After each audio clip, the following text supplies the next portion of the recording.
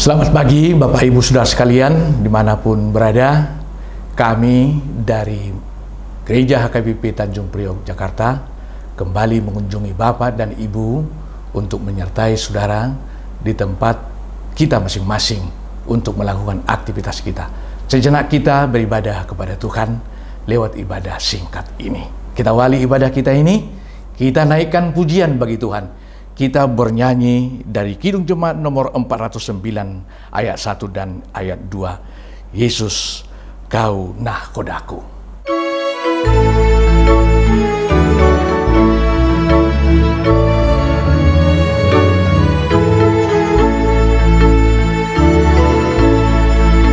Yesus kau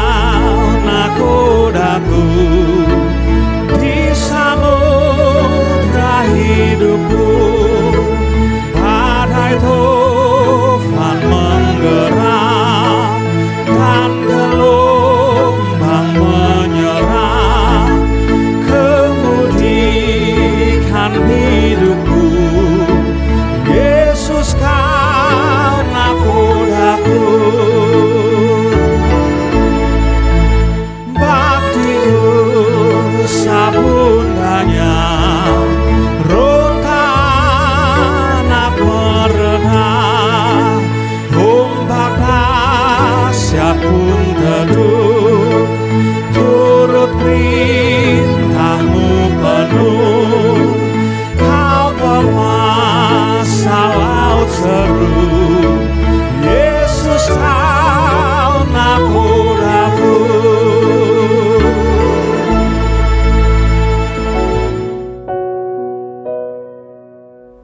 Kasih karunia dan damai sejahtera dari Allah Bapa dan anaknya Yesus Kristus menyertai saudara sekalian. Amin. Saudaraku yang menjadi landasan firman Tuhan renungan pada ibadah kita kali ini terambil dari Yeremia pasal 11 ayat 20. Demikian firman Tuhan tertulis di sana. Tetapi Tuhan semesta alam yang menghakimi dengan adil, yang menguji batin dan hati, biarlah aku melihat pembalasanmu terhadap mereka, sebab kepadamulah kuserahkan perkaraku. Demikian firman Tuhan. Hadapilah persoalanmu. Demikian judul renungan ini. Saudaraku, Yeremia terlahir tidak pada zaman yang tepat. Mengapa kita katakan situasi pada zaman Yeremia dipanggil menjadi nabi kacau balau di tengah-tengah Israel. Di sana sini banyak kebobrokan, kemunduran demi kemunduran. Bahkan orang silau melihat pelayanan Yeremia seperti orang yang sakit mata jika terang itu datang mereka terasa silau. Yeremia mengalami banyak siksaan bukan hanya dari perkataan atau tolakan terhadap dia tetapi sampai fisik juga dia mengalami siksaan itu saudaraku.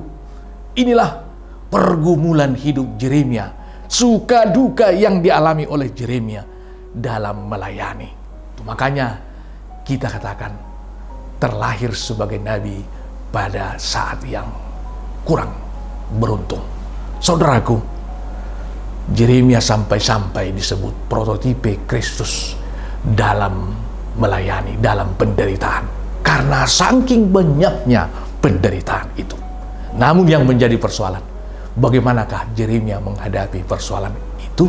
Ini yang akan kita lihat dalam renungan ini. Ada dua saudaraku. Pertama, Yeremia memastikan dirinya bukan karena kesalahannya dia menderita. Itu konsekuensi pekerjaan. Tantangan terhadap tugas pelayanannya. Ini, dia memastikan dirinya on the track. Maka kalau dia menyampaikan kepada peradilan Tuhan, ya jangan-jangan senjata, senjata makan Tuhan. Tetapi Yeremia memastikan dirinya bukan karena kesalahannya dia menderita. Ini saudaraku. 1 Petrus 3 ayat 17 berkata, Sebab lebih baik kita menderita karena berbuat baik, jika hal itu dikehendaki Allah, tetapi bukan karena berbuat jahat. Jadi kalau kita pun menderita karena berbuat baik, maka Tuhan akan menolong kita.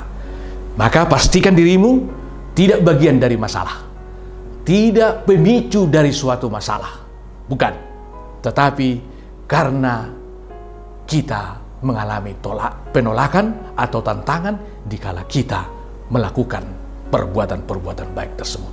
Yang kedua, Jeremia sadar kekuatannya untuk mengalami dan menghadapi persoalan itu terbatas. Maka dia menyerahkan semua persoalan itu kepada Tuhan. Aku berserah kepadamu, Tuhan semesta alam. Hakim yang adil, yang menguji batin dan hati manusia. Nah ini saudaraku, ini pengakuan Jeremia. Dia menyerahkan semua persoalan itu.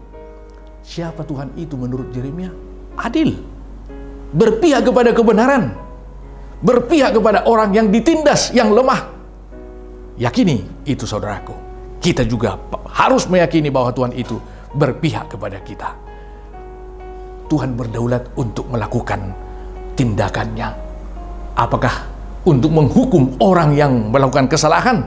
Serahkan sepenuhnya kepada Tuhan. Bukan kita yang melawan atau membuat tindakan penghukuman itu kepada sesama kita yang berbuat salah tetapi serahkanlah segala pergumulanmu kepada Tuhan.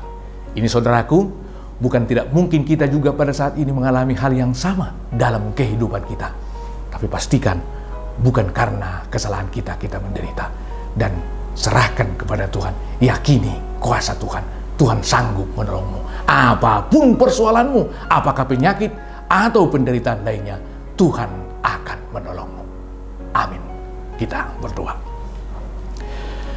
Terpuji namamu Tuhan Allah Bapa di sorga.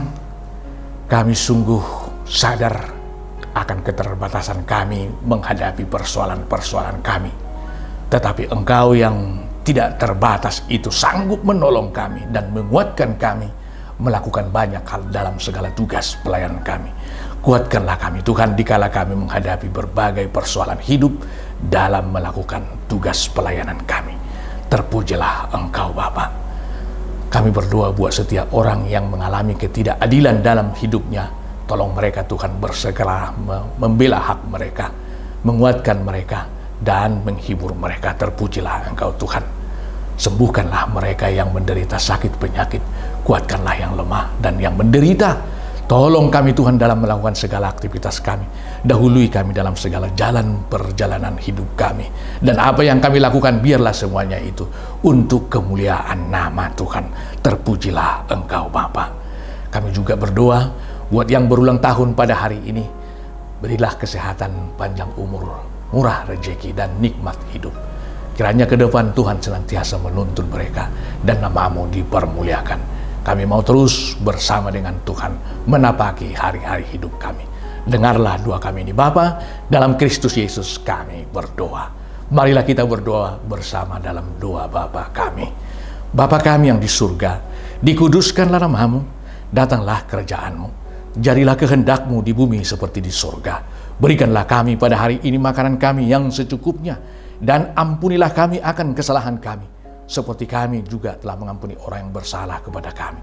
Dan janganlah membawa kami ke dalam pencobaan, tetapi lepaskanlah kami daripada yang jahat, karena engkau yang empunya kerajaan dan kekuasaan dan kemuliaan sampai selama-lamanya. Amin. Anugerah Tuhan kita Yesus Kristus, kasih setia dari Allah Bapa, serta persekutuan Roh Kudus yang menyertai dan memberkati saudara sekalian. Amin.